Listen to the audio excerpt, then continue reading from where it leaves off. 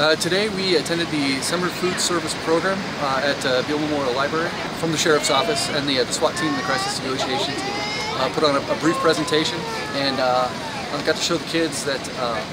some of the, the, equipment that we use, including the, the Bearcat that's right behind me. My goal for today and, and the goal for us being here is to relate to kids and get them to realize and to, to understand that we're human beings, that we're, we're parents, we're sons, we're daughters, and to get them to understand that we're not robots, uh, we're here to help people.